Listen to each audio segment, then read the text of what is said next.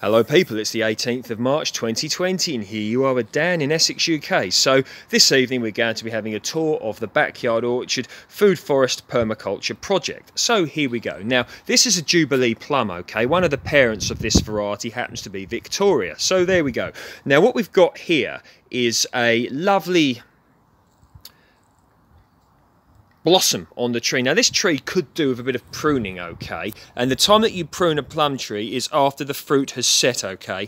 And that is not the same as when you would prune a pome fruit, such as an apple or a pear, which you prune during the dormant season. So the time to prune these in the spring, when you see them little green fruitlets on there, that's when you would indeed prune one of these. If you prune during the dormant season, you could risk introducing silver leaf, and you really do not want to do that. Absolute powerhouse of a tree. This came from mail order trees a, a few years ago, looking very good. Nice established trunk, and you really can feel the power of this tree so I'm very happy. So this is on rootstock St Julien A which should make a fair sized tree eventually when this tree is mature. Already in this stage it's about to 10 or so or maybe 11 feet tall. So very happy about that. Over here we've got Worcester Pearmain a great UK variety of apple. Not as far advanced as the uh, Jubilee plum but in general apple trees are a bit later to leaf out than plum trees are. But a little bit of tipping as I call it a bit of furring up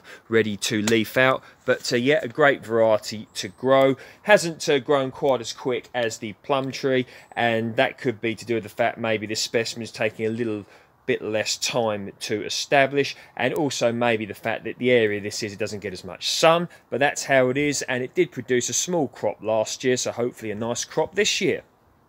Right so here we have a conference pear no we don't. We have a concorde concorde pear what am i talking about? Concorde pear now the parents of this tree are conference and Comice pear okay? I'm 100% sure about the conference pear just check out with regards to the Comice pear, but I'm pretty sure of that. So a lovely tree here, lovely specimen, looking very, very good. I've owned this tree for about five to ten years now, something like that. Looking very, very good indeed. But you can see that uh, starting to leaf out nicely. It generally produces good crops. Some years it sets many small pears. Um, other years it sets less pears, but bigger ones, very tasty, almost just a really beautiful tasting pear. And it's said that uh, if you can only grow one pear, Concorde would be it. Now, with regards to growing pears, some people are living in areas where they get late frosts, where they get, you know, lots of breeze that then blows the blossom off. Now, there's a variety called Invincible, okay, which is said to produce two loads of blossom if required. So if the wind takes the first slot off or a frost or whatever, the tree is then said to put out another load of blossom. So this could be interesting for people living in such areas if they want to get a good variety for hopefully a more reliable crop. Now here, this is a Stella Cherry. Right, I'll let you have a look at that. Looking lovely, starting to bulk up a little bit there. This is going to burst its buds soon and hopefully get some lovely cherry crops. We'll be having to cover it up with some netting to stop the birds getting them. So very interesting with regards to cherries because Stella was the first introduced to the UK from Canada.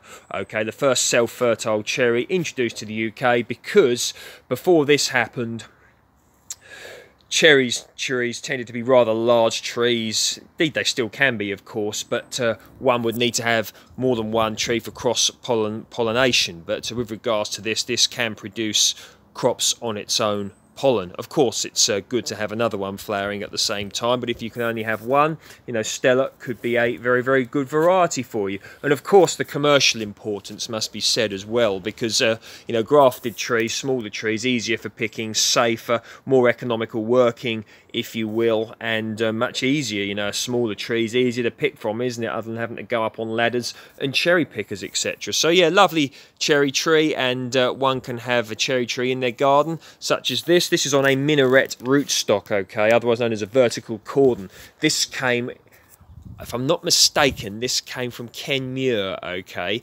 and uh, I'm very happy with it. I should have really pruned it more in its younger years, you know, to keep it more of a cordon. But myself being me, I don't have rules when it comes to gardening. I've decided to let it go into almost a tree form on a minaret rootstock and see how it goes. So I'm quite uh, interested how that's uh, going to do. Right, going into the polytunnel here, we'll start with the Dixie Red. Uh, Dixie Red Peach. Here we go, you can see the blossoms on that. I'm hoping for a lovely crop off of this of lovely, beautiful, sweet peaches. Wouldn't that be amazing? Very, very lovely if that does indeed happen. Here I have got a nectarine. This is variety Lord Napier. Hopefully get a crop off of this this year. I know I shouldn't really let it crop um, because it's in its first year in my uh, sort of uh, ownership, if you will. But if it sets some crops, I'm going to let it continue with that. And here we go. We have got Peach Peregrine St. Julien A. Look at that. Look absolutely lovely. Beautiful. These peaches like most peaches, are self-fertile, okay? So I don't have to worry about uh, you know, pollination or whatever. So here we go. I've got variety Rojo Brillante Persimmon. Very unlikely that'll set a crop this year, but uh, who knows? Another persimmon, otherwise known as Sharon fruit Fuyu. And here we have a pomegranate variety Provence. Okay, now here, this is a tea plant, so hopefully my own tea will be here one day. And autumn royal grape going up the polytunnel and down and around to here. So there we go. So that's just a little bit of the backyard orchard permaculture project. There's a, there's more I can show you, but uh, many of you have seen that already. So I hope you enjoyed that video. Any comments, questions or whatever, please feel free to post below. Now, I haven't answered too many comments, right, at the moment um, with regards to, you know, YouTube because, uh, you know, I'm, I'm, making, I'm making videos for people to watch, okay, because I enjoy making them and a lot of people hopefully enjoy watching them. So I'm concentrating more on making videos at the moment. But, um, you know, if there's a pressing question you've got that you want me to answer, get me on Dan underscore Home Gardens on Instagram, okay, and I'll answer you directly on there, okay. But um, yeah, so when I get a bit of time off, which we may or may not be getting soon, I am going to be spending time answering your questions, all right. So thank you very much to every single one of you. I truly appreciate you all, and spring is here. See you next time.